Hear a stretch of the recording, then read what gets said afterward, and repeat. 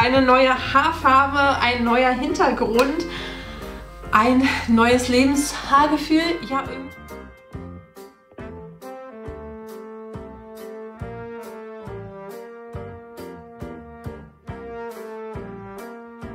Hallo Hallöle und herzlich willkommen zu diesem Video. Mein Name ist Saskia und ich freue mich sehr, dass du dich hierher verirrt hast.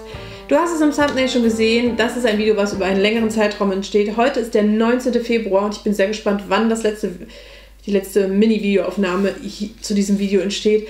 Ganz am Ende werde ich dir mein Feedback geben zu Olaplex, denn das habe ich mir als äh, ja, Probierkit mal im polnischen Sephora geholt, versus der äh, Bondplex Restore Kit Reihe von Revolution. Olaplex kennen, glaube ich, ganz viele von uns, die hier auf YouTube in, der, in dem Beauty-Bereich unterwegs sind. Wenn du es nicht kennst, es ist eine Marke, die äh, Haarpflege ja macht, auch Haarfarbe und sowas. Bestimmte Produkte kriegst du nur, oder können, also zwei Produkte aus dieser Reihe gibt es tatsächlich nur für die Friseure, die kann man gar nicht kaufen als regulärer. Äh, und ich habe hier die Olaplex, äh, das Hair Repair Treatment Kit. Das ist eigentlich eine achtteilige Reihe. Ich habe hier die 0, die 3, die 4 und die 5. Äh, die 0 ist so ein, äh, es nennt sich Intense Bond. Moment, ich muss hinten lesen. Intense Bond Building Hair Treatment. Das soll man vor der Haarwäsche ähm, mit dem, der Nummer 3 dann eben kombinieren. Und das soll eben ähm, das Haar quasi primen und total tolle intensive Benefits, also Vorteile für die Haarreparatur und äh, stärkeres Haar bringen. Das ist ein, wie so ein Sprühwasser, wie so Reiswasser. Nee, Reiswasser ist es ja nicht, aber es ist sowas zum reinsprühen. Also das ist das Ding hier. Moment, ich hole es erstmal raus. Ich habe es ja heute schon benutzt. Denn tatsächlich, das ist die erste Haarwäsche mit... Ähm, denn tatsächlich, das ist die erste Haarwäsche mit... Äh, Olaplex und ich sage euch gleich meine erste Meinung dazu. Wie gesagt, das ist das erste Produkt, was ich heute benutzt habe, kommt mit so einem Sprühkopf und ähm, das sollte man einfach in die leicht äh, angefeuchteten Haar, nee, ins trockene Haar, ja gut, meins war schon nass, reden wir nicht drüber, ähm, genau, machen, um das so ein bisschen zu satuieren und dann äh, 10 Minuten drin lassen. Wie gesagt, meine Haare waren schon leicht angefeuchtet, weil ich es erst gesehen habe, nachdem ich schon in der Dusche war. Reden wir nicht drüber. Nach 10 Minuten kam dann die Nummer 3 zum ähm, ja, handeln. ähm, das ist eine, ein Pre-Shampoo, ähm, also ist der Hair Perfectioner Nummer 3, Repairs and Strengthen All Hair Types, also soll die Haare reparieren und ähm, ja, stärker machen. Thema Reparieren komme ich gleich noch drauf zu sprechen. genau, das ähm, einmal die Woche bei starken äh, Schädigungen auch zwei bis dreimal die Woche. Ich wasche meine Haare nur alle fünf bis sieben Tage, deswegen kann ich das maximal einmal die Woche benutzen. Ähm, genau, das ist wie so eine, so, eine, so eine Kur, aber vor den Haare waschen. Vor dem eigentlichen Shampoo bin ich ja eigentlich kein Fan von, kennt ihr mich? Aber ich wollte es ausprobieren. Ähm, genau, und dann kam äh, die 4 und 5, das war dann das Shampoo und der Conditioner. Das hole ich jetzt euch nicht extra raus, weil es ist halt Shampoo und Conditioner. Ja, dagegen haben wir, und dann erzähle ich euch meinen ersten Eindruck, dagegen haben wir von Revolution, die machen ja gerne Sachen nach, das ähm, Plex, nicht Olaplex, sondern das Plex Bond, also Bond Plex Restore Kit. Wir haben hier einmal ein Bond Restore Treatment. Das soll also so ein bisschen, wir können das ja mal aufmachen, eine vierschrittige Sache. Es fängt aber hier bei der 3 an, also die 0, die wir im Vergleich zu dem Olaplex Produkt haben, haben wir hier nicht drin, sondern wir fangen hier auch mit dem ähm, ja, Bond Restore Treatment an, also der 3 die halt wahrscheinlich auch so eine Präkur sein soll. Ich, ja, soll man in das äh, handtuchnasse äh, Haar machen ähm, und dann eben auch für 10 bis 15 Minuten drin lassen, also ähnlich lang wie das von Olaplex. Das wäre dann hier die Nummer 4. Das wäre das Shampoo. Ich, genau, also Shampoo und Conditioner brauche ich auch, glaube ich, nichts zu erklären. Der Unterschied, den wir hier drin haben, ist die Nummer 6. Das ist nämlich eine Styling Cream. Ähm, und ja, die soll Proteinkaskadesystem, mhm, auch das soll halt alles stärken und, und so weiter. Und das soll ins Haar einmassiert werden, eher in die Längen und so weiter. Und dann soll man das eben entsprechend stylen können. Das werde ich ausprobieren. Ich bin sehr gespannt, wie dieser Selbstversuch ähm, ja, ausgehen wird. Er wird über, ich denke, ein bis zwei Monate gehen. Ich denke so ein bisschen, dass ich jetzt so einen Monat, drei, vier Wochen das Olaplex-Kit äh, testen werde und dann drei, vier Wochen das von Revolution. Ähm, was ich so ein bisschen festgestellt habe tatsächlich, und ich habe da einen YouTube-Kanal, den verlinke ich euch unten auch mal gefunden, der echt gute Videos diesbezüglich macht, ist, dass ähm, man doch manchmal merkt, wenn man ein bisschen hochwertigere Marken hat, was so Shampoo und Co. angeht. Ich meine, das von Revolution war auch nicht günstig. Das Set hat jetzt auch, glaube ich, um die 35 Euro gekostet und ich glaube, ich habe es schon rabattiert gekriegt. Das Set, was ihr da von Olaplex gesehen habt, habe ich auch rabattiert gekriegt für, ich glaube, 60, 65 Euro. Ähm, mein erster Eindruck heute ist, dass es erstmal sehr lange gedauert hat, weil erstes, gut, ich meine, dieses Prä, äh, was man ins trockene Haar macht, hätte ich halt machen können, bevor ich in die Dusche steige. Das war mein erster Fehler. Äh, aber man muss natürlich dann in der Dusche selber nochmal das 10 Minuten einwirken lassen. Nachdem man das eine ausgewaschen hat, muss das andere wieder einwirken.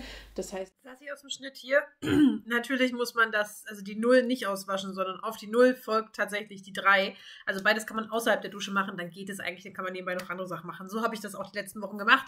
Hat einwandfrei funktioniert, kann man vorher noch andere Sachen machen, wenn man das morgens macht und so weiter. Also ich rede gerade Unsinn, nur so als kleine Info und äh, wer, falls jemand das richtig weiß und mich gerade korrigieren wollte, hört auch zu tippen. Das heißt, man muss so ein bisschen gucken, wie man das organisiert. Also es ist zeitintensiv. Auch der Conditioner muss drei Minuten einwirken laut Verpackungsanweisung. Also, hm.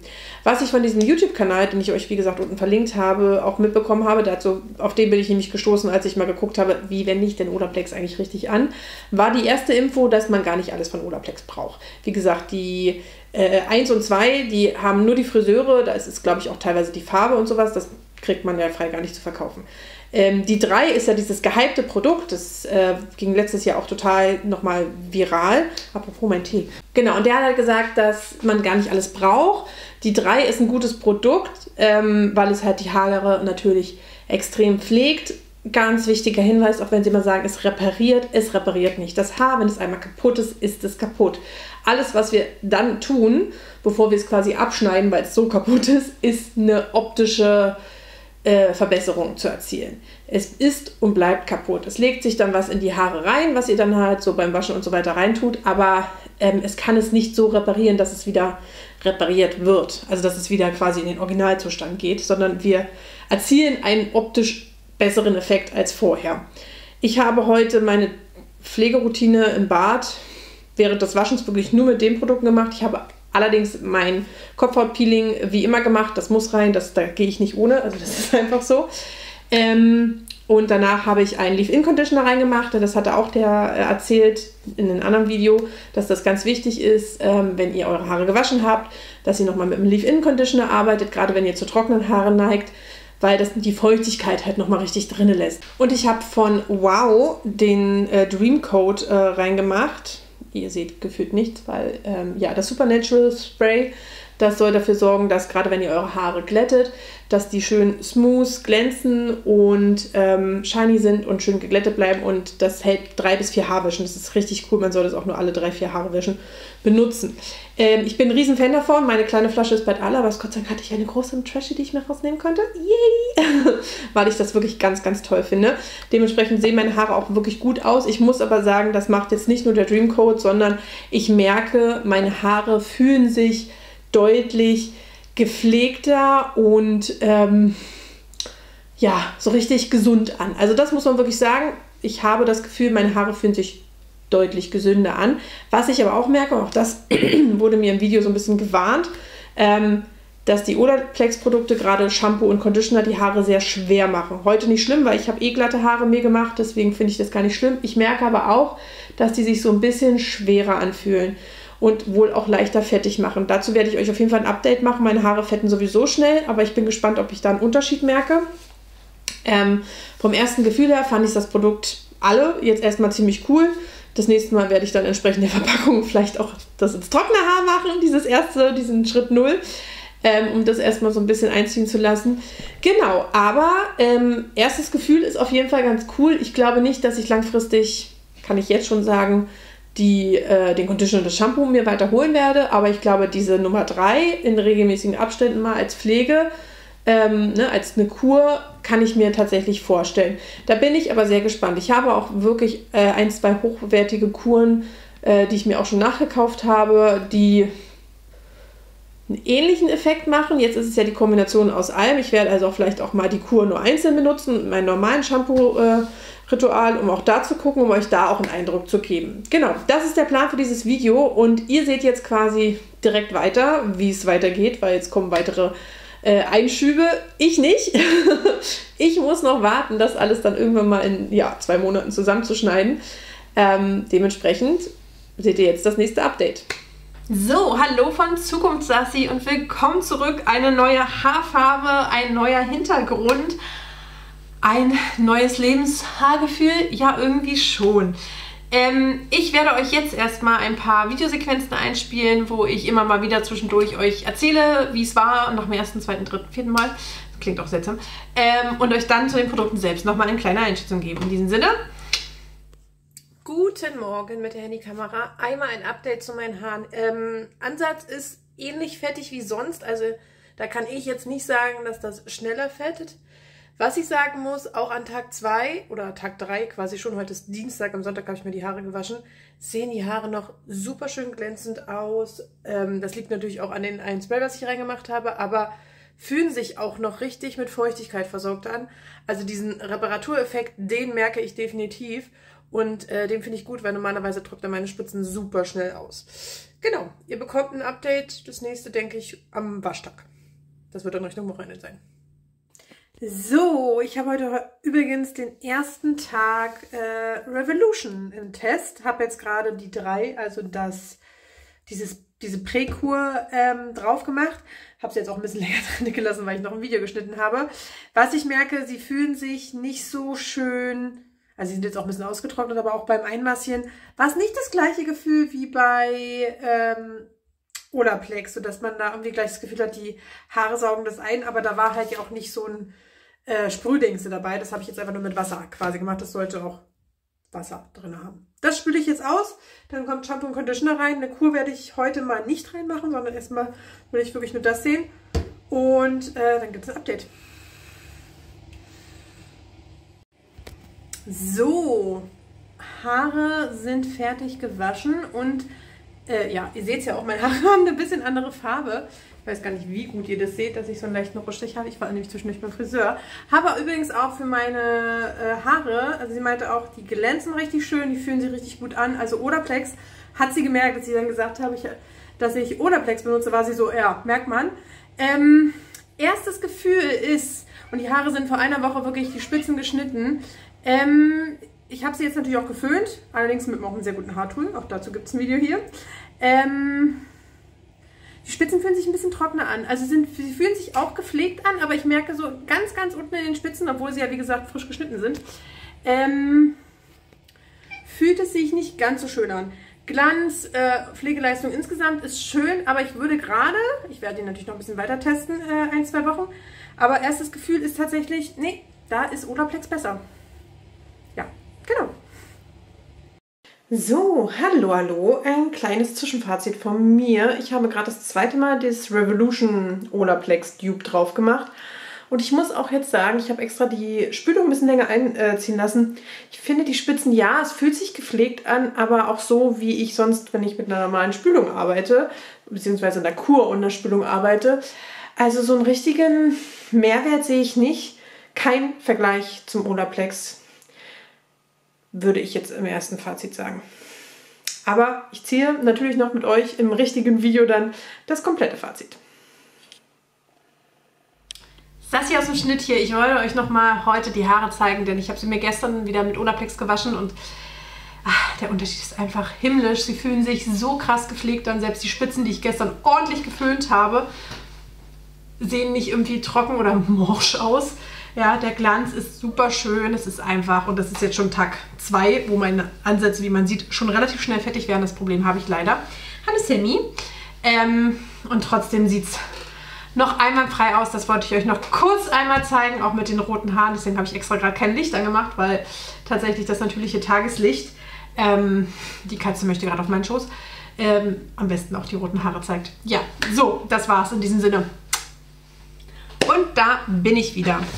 Ähm, ich starte mal mit äh, Olaplex.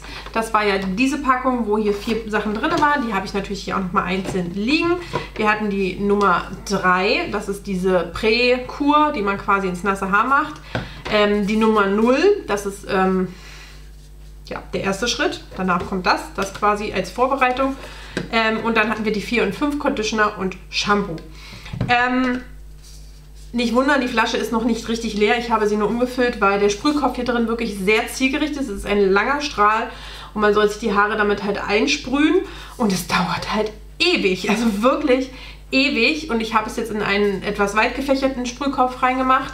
Ich verstehe inzwischen, warum es in diesem Ding drin ist, denn wenn das so nebelartig hier rauskommt zum Nassmachen, funktioniert es, aber die Luft ist schwer.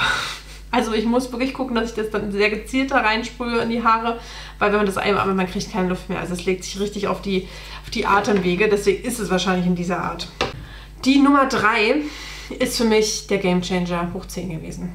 Also, oh mein Gott, ich wirklich, ich hätte nicht gedacht, dass ich meine Haare direkt, nachdem ich dann das erste Mal auch dann richtig gemacht habe, schon nach dem ersten Mal, wo ich es falsch gemacht habe, aber auch dann nochmal nachdem ich es richtig gemacht habe, meine Haare haben sich so gut angefühlt und ich war nach der, ich glaube, ich habe das dreimal benutzt, dann war ich beim Friseur und ich habe sie gefragt, sag ich, siehst du eigentlich einen Unterschied? Und sie sagt, boah, deine Haare glänzen so schön, sehen so gepflegt aus. Und ich dachte, ja. Yeah. Dann habe ich ihr erzählt, dass ich mir Olaplex geholt habe. Sagt sie, ja, Olaplex ist schon gut, ne? Sehr, sehr cool. Ich habe es sowohl mit Shampoo und Conditioner als auch ohne, mit quasi anderen Produkten ähm, benutzt. Die volle Pflegedröhnung definitiv mit dem Teil.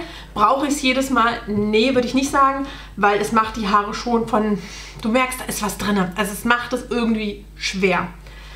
Olaplex werde ich mir definitiv aber nachholen. Was ich jetzt auf jeden Fall noch testen möchte, ich bin ja ein Riesenfan von, ähm, Moment, ugh, von dieser kleinen niedlichen blauen Marke Morocanoil. Morocanoil, ich kann das aber nicht aussprechen. Ähm, davon gibt es auch eine komplette Haarserie und ähm, ich würde gerne mal da tatsächlich Shampoo, Conditioner und Spülung ausprobieren. Äh, und Kur meine ich. Ähm, weil ich da auch letztens jemanden gesehen habe, der es getestet hat und gesagt hat, es kommt wohl sehr nah daran. Bin ich sehr gespannt und die Marke an sich ist halt super. Meine Schwester, meine Schwester hat auf jeden Fall Shampoo und Conditioner da.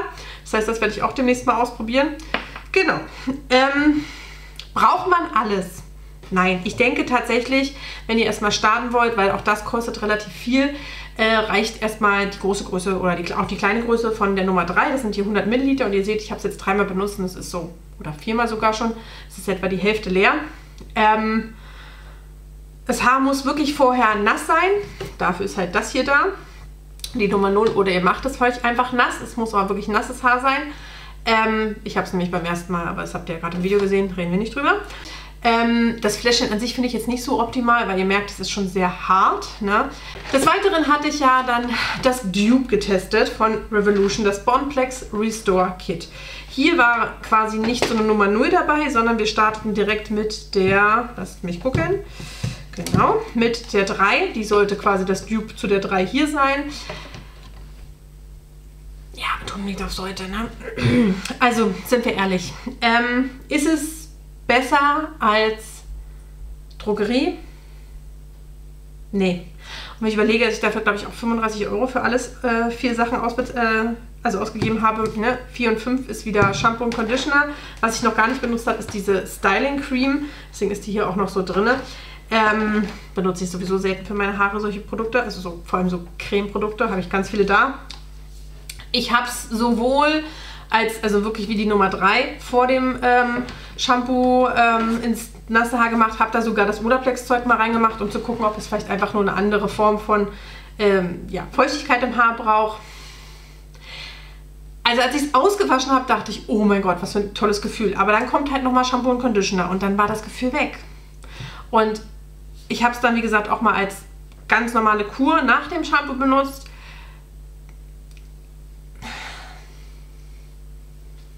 Nee, also ich mache es jetzt alle, keine Frage.